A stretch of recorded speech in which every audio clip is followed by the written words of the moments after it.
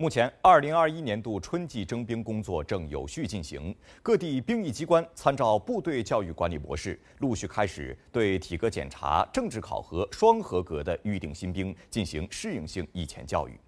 在常态化疫情防控下，各地人武部创新方式方法，助力预定新兵做好思想和角色转换准备，帮助他们树立信心，为适应军营生活打下扎实基础。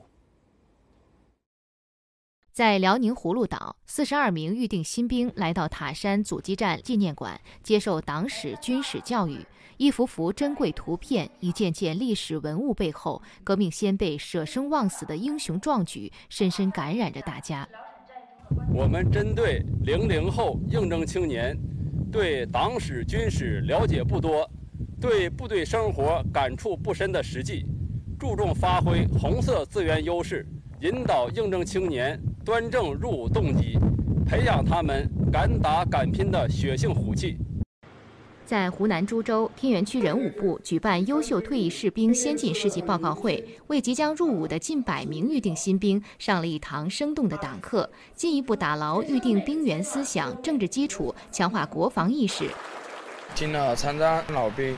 文建新同志的报告后，他的个人经验和党史的一些知识。令我非常的感触，我也想在这个建党一百周年的时候参军入伍，发扬一下老前辈的一些精神，去部队贡献一下自己的力量。在江苏连云港，灌云县人武部组织预定新兵前往开山岛党性教育基地，引导教育他们学习人民楷模王继才先进事迹，赓续红色战斗精神。通过组织这样的学习教育和实践体验活动，让这些即将入伍的准新兵们。更深刻的去体悟爱国奉献精神实质，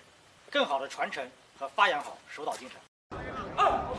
在青岛某训练基地，近两百名预定新兵正在进行队列基础贺目训练。近年来，随着大学生入伍优待政策不断完备，越来越多的大学生走进军营。这次的近两百名应征青年中，百分之九十以上都是大学生，其中有两名为研究生学历。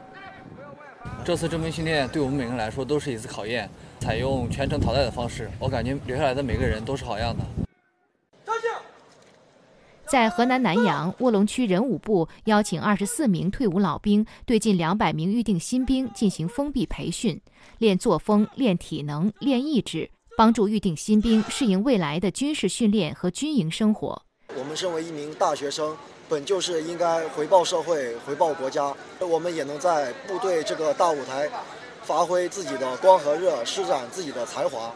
在贵阳市乌当区，当地人武部在体能训练中采用数字化监测的方式，准确掌握预定新兵的各项身体指标。